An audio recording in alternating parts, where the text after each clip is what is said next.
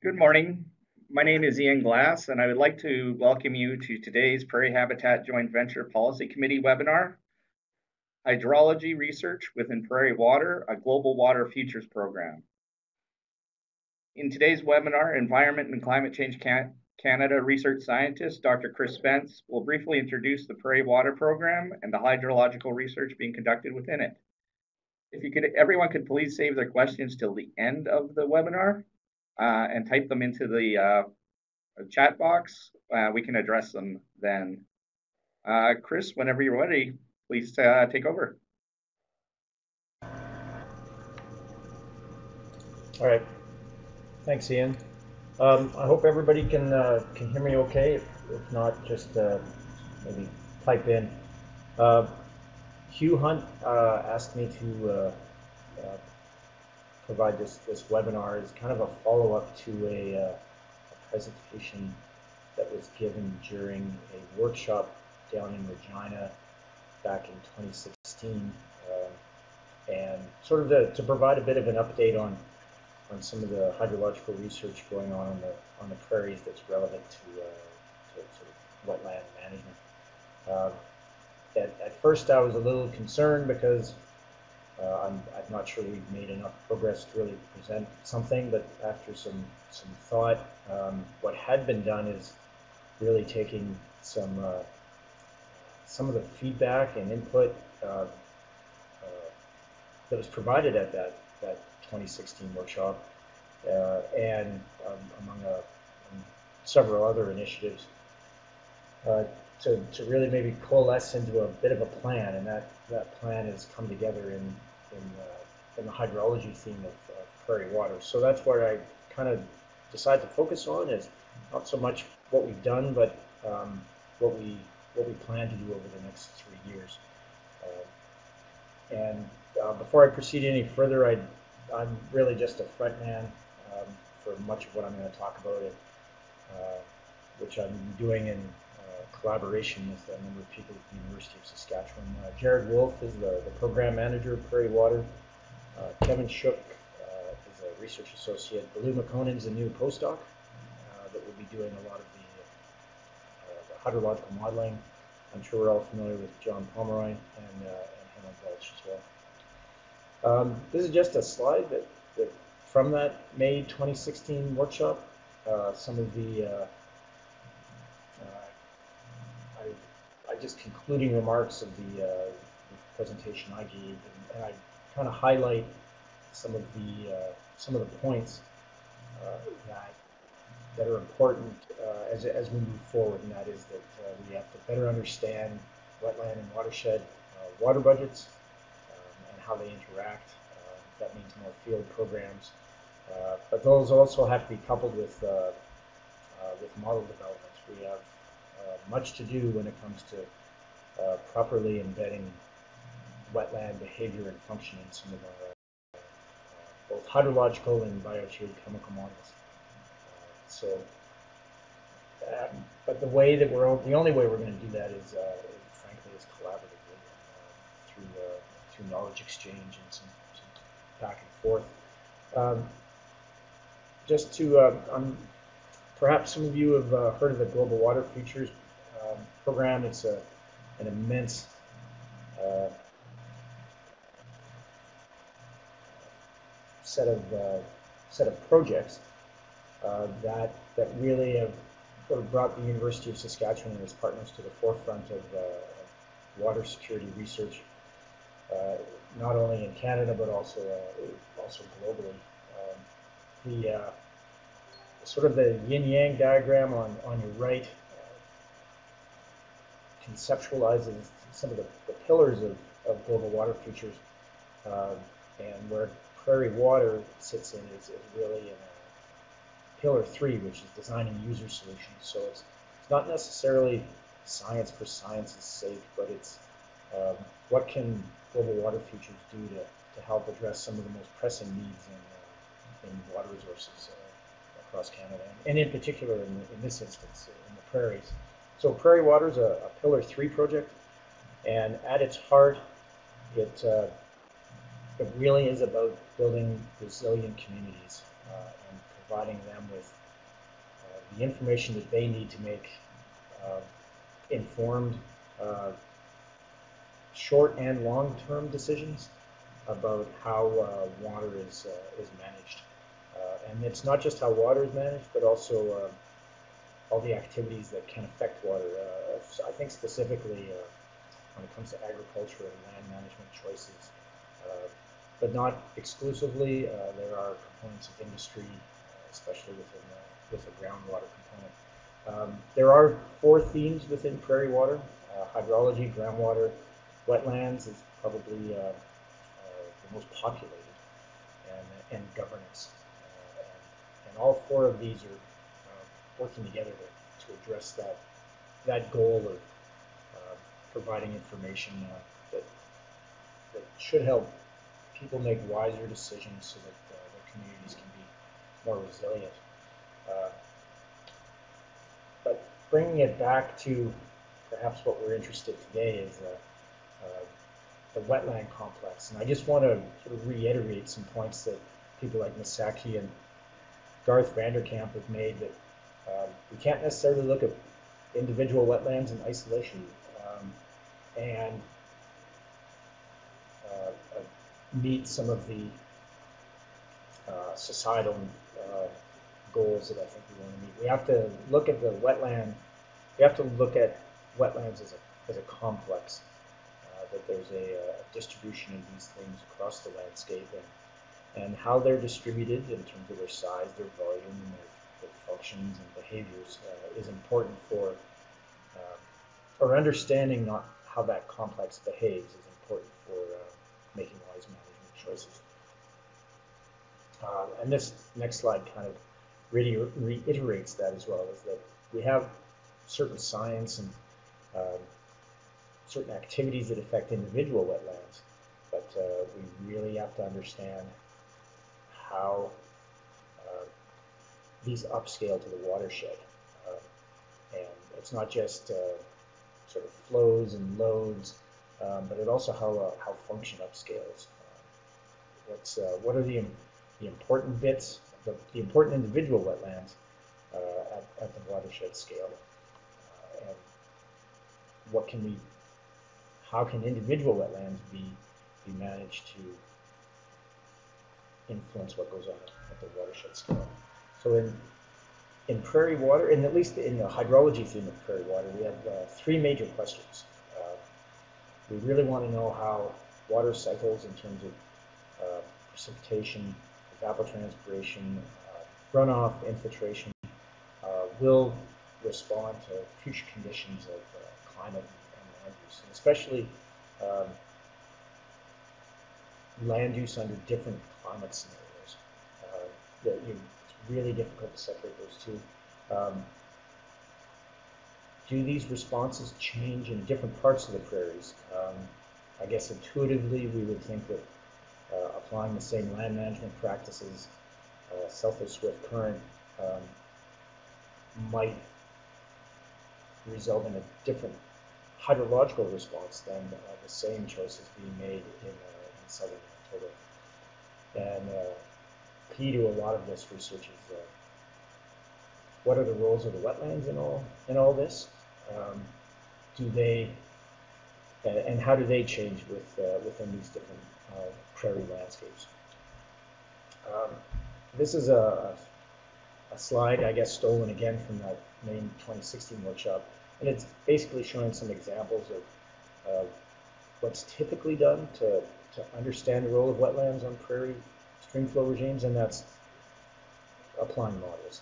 Um, so much of our, I'll call it understanding, but some of it is more of, uh, much of our uh, uh, hypothesis proposing uh, has come from, uh, from model simulations. And uh, I, it, it, it, at least it's my opinion that the wider applicability of some of these model predictions to um, changes in land management, wetland distribution, etc., is sometimes a point of debate, and, and some of this goes back to uh, the fact that we do have different landscapes on the prairies. Uh, so, to, to address this, um, the hydrology theme has uh, come up with this idea that perhaps we need to classify catchments uh, across the prairies. And so uh, what you see in this slide is a, uh, uh it's actually a global product of, uh, uh, derived from the shadow, the, the sh sorry, the space shuttle radar product. somebody's managed to create a, a, network of catchments across the better part of the globe, all of about 100 square kilometers in size. Uh, and this is a, a clip of, uh, of just the sort of prairie ecozone. And so what we'd like to do is classify each one of these catchments based on its attributes uh, and, and, proceed from there and, and see what uh, what kind of distribution uh, that has. Uh, and so Jared is, is actually leading this effort right now, and he's doing the not un- unsubstantial task of pulling together uh, a lot of uh, data sets from across the prairies. Uh, we're looking at catchment area, uh, precipitation, uh, an estimate of runoff. I don't have evapotranspiration in there there, but it is sort of a function of temperature, which is going below. we've got soil layers. I'll talk about wetland fraction and distribution in a moment. stream order, topography that reddish tone image there is actually the standard deviation of the slope, uh, which kind of we're hoping represents the, uh, I'm not sure if this is a word, but the hummockiness uh, of the landscape. Um, and then the one below is the uh, superficial geology, I believe. And then we've also managed to uh, get our hands on some predominant crop and land use layers. So we'd like to put all these in. Um, probably do a try a few things with principal components analysis or canonical correlation to, see if we can come up with a classification scheme.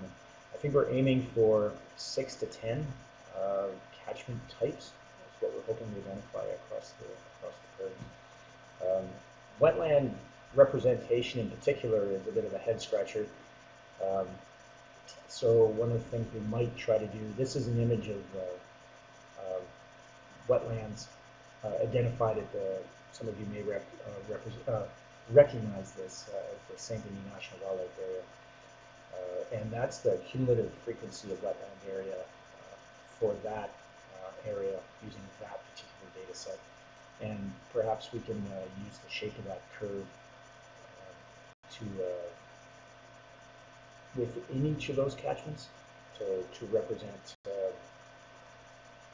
how wetland area is uh, distributed within each of those catchments. Um, um, it's relatively easy to get wetland fraction uh, from such an image, but that distribution is a bit, uh, bit of a harder nut to crack. And, uh, exactly how do we represent distribution? Because it's not just that cumulative frequency, but it's also uh, things like uh, proximity to the outlet that that are also that are important people like Kevin Shook have identified uh, as perhaps things that we should try to include in our uh, catchment classification system.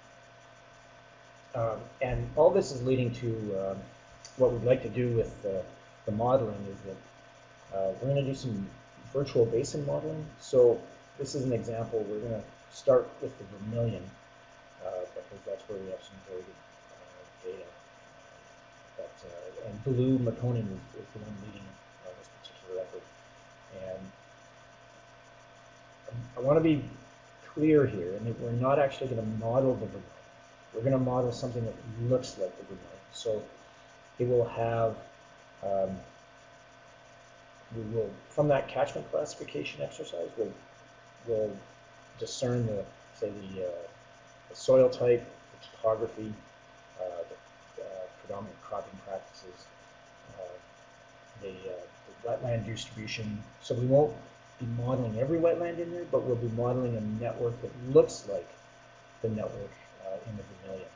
And, and we're hoping that from, from this exercise that um, rather than modeling a specific basin, since we'll be modeling something that looks like the Vermilion, which is representative of, say, um, a class, what will end up being a class five watershed, uh, then we can take the results of, of that modeling effort and extrapolate it across the rest of the catchment class.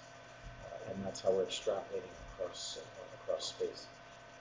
Uh, and so the next couple slides are some examples of some of the outputs that, that we expect to have. Uh, so uh, some, some hydrographs in, in, in this instance.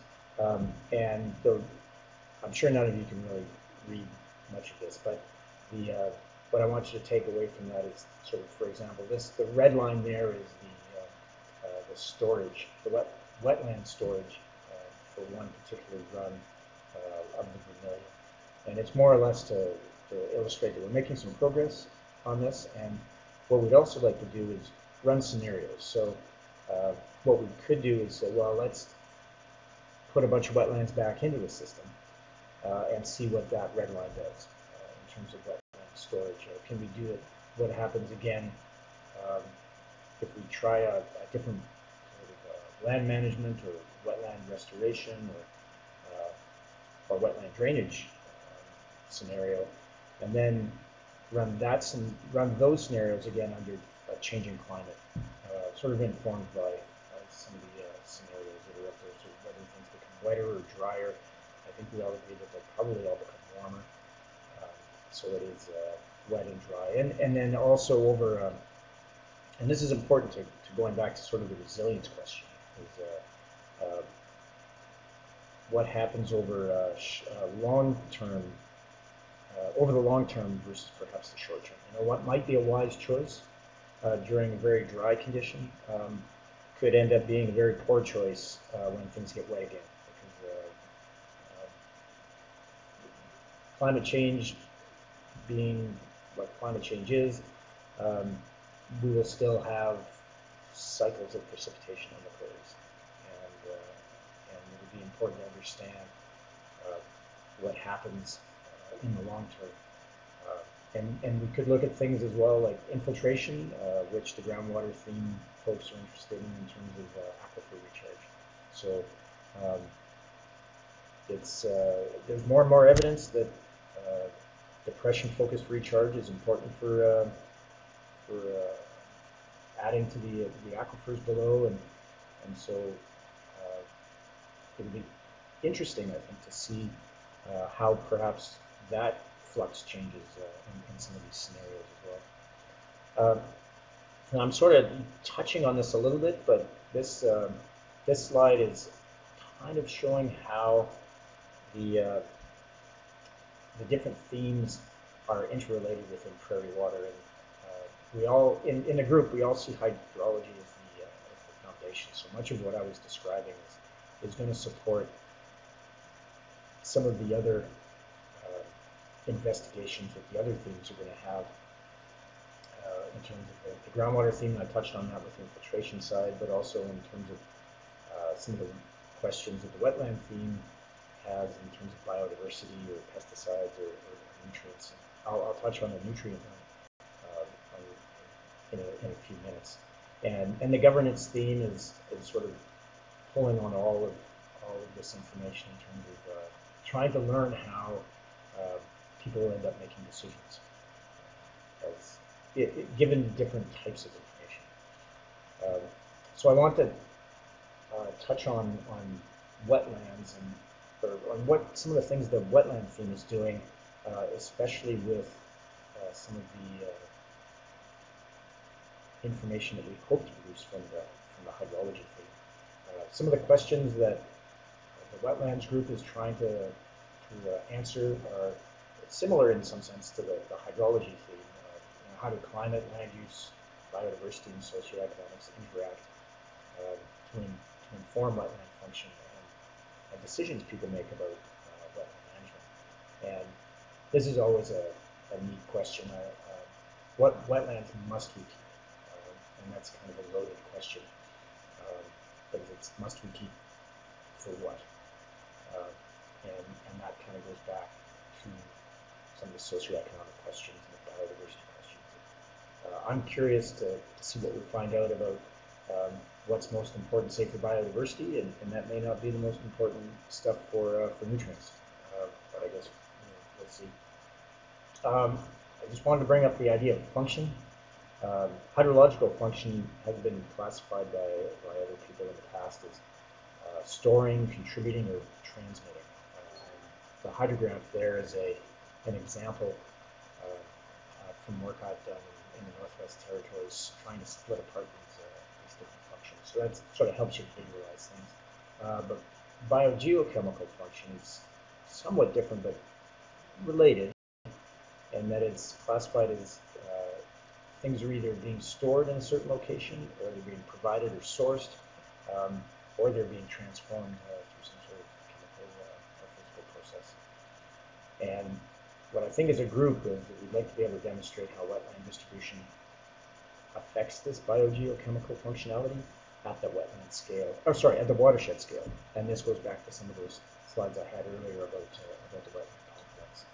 Uh, there's a few ways we'd like to pursue this. Uh, there is always talk of some sort of a land management experiment. Uh, in the sense, if you look at those two slides, which, which I might, I have to say, these are not the same place. These aren't before or after, but they do kind of substitute space for time in terms of a, uh, a poorly drained landscape and a well-drained landscape.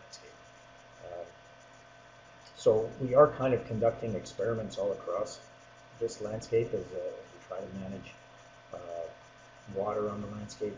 Um, so there are opportunities if the right partnerships present themselves uh, to maybe uh, observe these uh, uh, and document some, some of these changes that are predicted to have happen um, during some of these modeling exercises. I think it would be a, a fantastic opportunity if we can find the right partners to do this, which is sort of a, a physical experiment. The, uh, the other side, and we'll certainly do this, is uh, link the hydrological model output with uh, with some biogeochemical models. And, and Helen Baulch has some ideas about how we can do this, and they sort of increase there in terms of order of complexity. Um, terms of, uh, we can assume chemostasis, which is just assume constant concentrations, nothing really happens. Uh, but we know that's not necessarily the case, so we do understand that there are some rates of change in those concentrations, so we can slap those onto the model flows and see what happens. Or we can actually couple the two, uh, couple the two models, the, the hydrology and the geochemical models. And what we'd really like to do is map this back into the class, classification framework. So uh, don't, please don't think that those colors on that prairie map mean anything right now. Uh, they don't, but, uh, but they do kind of help as a visualization of this extrapolation exercise that we, we hope to be going through. So what we can, what we hope to do is um, find out which classes are most prone to change, whether it be from climate or from uh, different land management decisions, uh, and map that back into the into the into the catchment uh, framework in the GIS, and then and then color that up.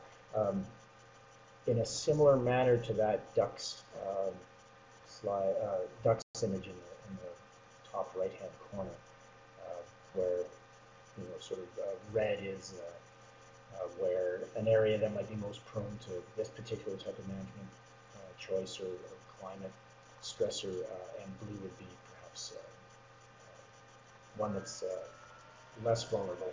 and then we're hoping that that kind of informs at, at a landscape scale uh, where we should consider certain choices and where we perhaps should not be doing things.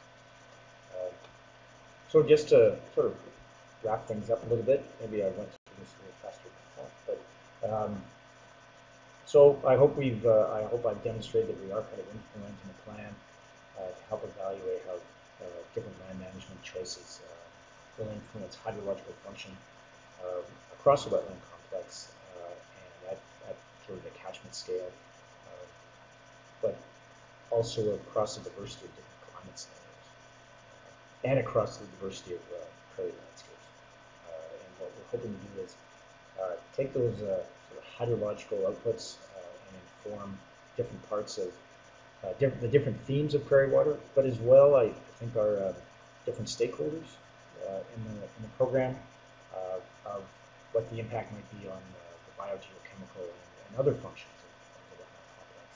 And then map those back into the catchment classification framework so that we have a nice uh, uh, visual or a nice image of where and uh, where where we sh- shouldn't uh, perhaps implement certain uh, certain practices uh, moving into the future. So I'll I'll, I'll stop there. Uh, thanks. Does anybody have any questions for Chris?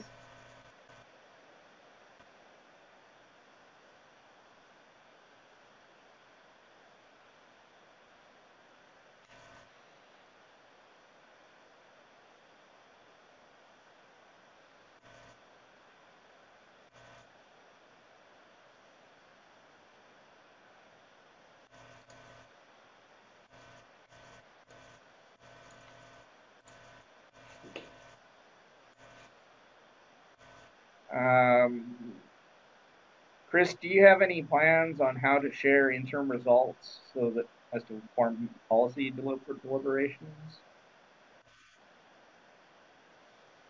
Um, well, I, there's going to be a, a, number of different ways. Uh, we uh, we hope to have uh, uh ongoing workshops. Um, where know, we might meet as a sort of the entire Prairie Water program uh, or individual themes. Uh, I, I, think these webinars are a, are a good idea. Uh, we, the Prairie Water is going to have an advisory committee uh, that uh, is still being shaped right now, but one of their tasks is certainly going to help inform, is to inform uh, the investigators within Prairie Water about the best way to, to distribute results. Uh, not just you know, at the very end, of, but uh, as, uh, the program moves, moves forward. We, we, hope that this will be quite an, quite an iterative discussion um, over time. So I, I think as long as we keep the lines of communication open, we might succeed there.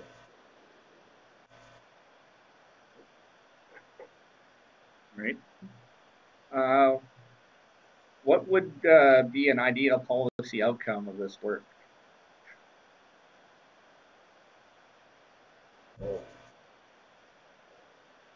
Um, I have to admit that's not not necessarily my department. My department is more on providing information that, that would in, that would inform policy. I, I would hope that um,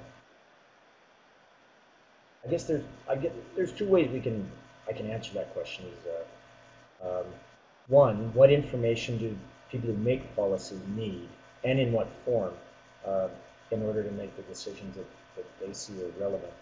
Um, uh, and the other side is, uh, I would hope that we're on the right track with uh, with the mapping exercise, uh, in, in, that it will help inform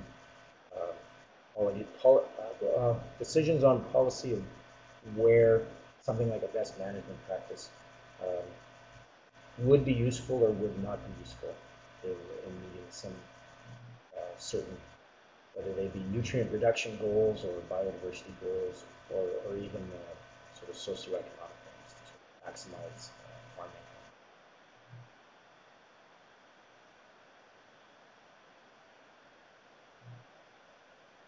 But we would be looking for feedback on that in particular, because you may it is a bit of a core exercise.